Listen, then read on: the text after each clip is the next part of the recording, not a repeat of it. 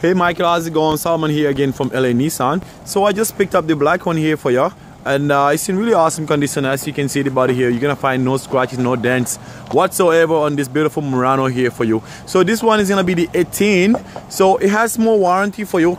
Intelligence keyless entry as well. As you can see the body is really really awesome. Sitting on only 39,000 kilometers on it there for you.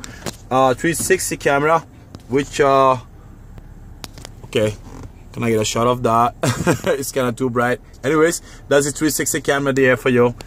And uh, navigation, heated seats, and uh, heated steer steering wheel and all those fun stuff here. It's gonna be a leather, moonroof and everything like that. So let me know what you think about it. In the meantime, we can do a quick trade up, uh, quick uh, uh, application there for you. So uh, before you get in here tomorrow, we get everything done here for you. I thank you, Michael, and uh, you have a great day. Thanks, bye.